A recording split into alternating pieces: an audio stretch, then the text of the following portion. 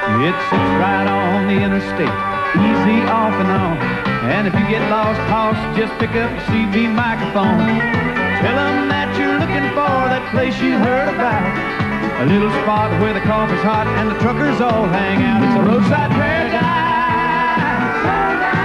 Folks there are mighty nice. Put your traveling blues on ice. It's a roadside paradise.